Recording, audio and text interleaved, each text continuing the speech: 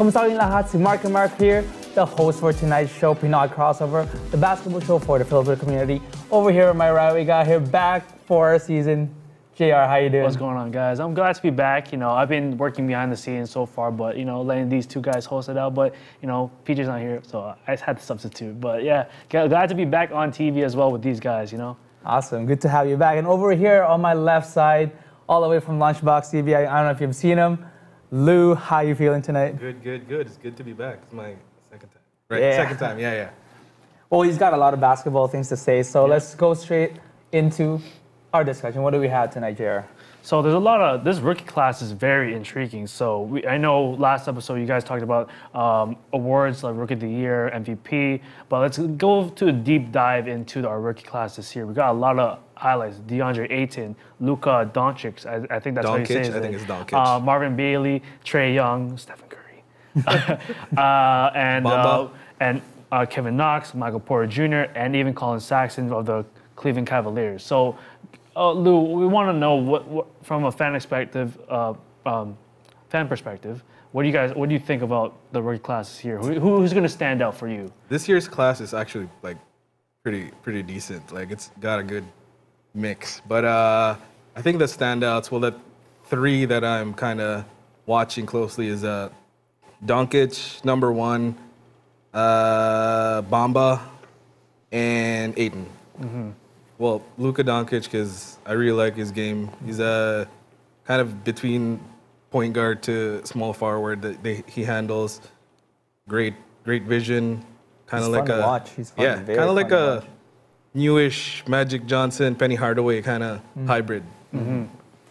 He's got, I mean, he's got a lot of opportunities right there. I mean, to play with uh, a guy like Dennis Smith, who's just on the verge of a breakout season. That was a that was a steal. Yeah, he was a steal from last year. I mean, uh, he was kind of inefficient to begin with, but it's kind of him getting that comfort zone. The same thing with a lot of players in their first year.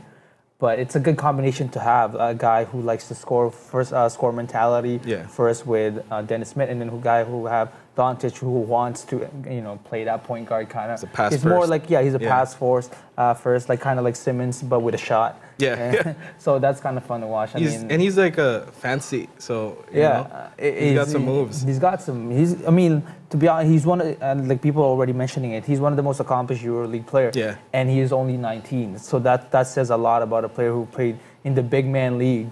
I mean, he was playing with you know like professional veterans in the EuroLeague, He's and he won the MVP. Yeah. So that says a lot. he kind of his has a head start. He's not technically he's not a rookie, but in not. the NBA he is. Yeah. He has that experience to dominate in within games, and so it's going to be very exciting to see what he uh, does in the court, especially when you know Dirk Nowitzki is kind of like passing the torch. a good mentor, Yeah, a yeah. good mentor to Exactly. have in, in a sense of, uh, I mean, he's the kind of player that can get. I mean, that trade was kind of very uh, controversial. Mm-hmm. He's the kind of player that can get.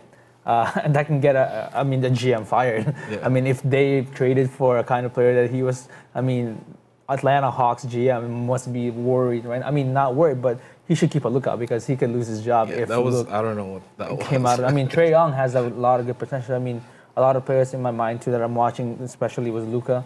I'm watching Kevin Knox. I think he's a really good player Yeah. that everybody slept on too. And I want to see Michael Porter. I think uh, they're giving him a chance to play this year.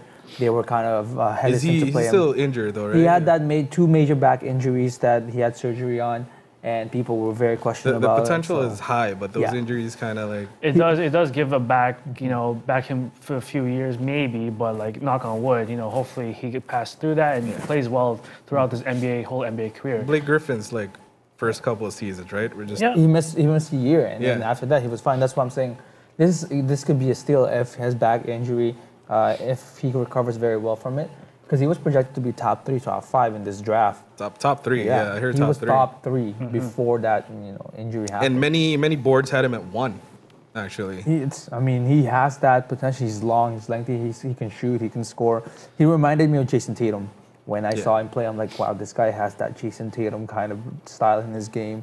He's a forward that can do everything, shoot, Right. and he can score anywhere around the court. So if he has that opportunity, there's a lot, of plenty in Denver.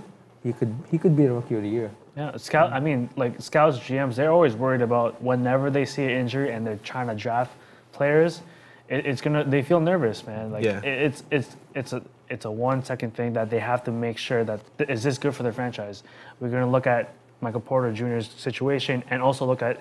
Uh, we spoke about Atlanta and Dallas' situation. Was that a good trade? But Trae Young is kind of intriguing as well because people have been saying that, oh, he's the next Stephen Curry. He's a but pure let's, He's, scorer, he's either a Curry or a Jimmer. Like it could go Yeah. either way. That's. But we uh, have to see what he does within Atlanta's system and what Atlanta is actually trying to do to rebuild their whole organization, their whole team. They traded Dennis Schroeder Trying to make for a sure that they, yeah. they get back into the playoff spot, maybe lower eighth seed. But you know, Trae Young looks intriguing. He, that preseason game the other night when he shot a three uh, against Spurs Yeah, like and won the game. I mean, that's Steph Curry, but I mean, we'll, we'll see what happens. He's a very so intriguing far player. preseason, he's he looks pretty good. yeah. So who's your pick this year, guys? Rookie of the year out of all that, you know, pretty deep draft class prospects. Who do you have kind of coming out of it? Rookie of the year. Lou. I, well, I want Doncic. Yeah, I think he has a big chance in Dallas to sh- just shine. Yeah. So I'd say so too. Uh, Luka has high potential. He's a high playmaker. I mean, like he is a, a, a reflection of Ben Simmons, but who can also do more than what Ben Simmons can do. Yeah. And in that system already, that Dallas system, I mean, it's a perfect fit for him. Perfect trade that actually happened for them. Yeah, I think uh, I'm a very big fan of Luke, but I'm gonna go with DeAndre Ayton just because he has the green light at, at Phoenix. Yeah, that's true. most most of the time, rookie of the year goes to someone who produces the most, and I think he has every opportunity to produce. So I'm staying. DeAndre Ayton can be have a monster season.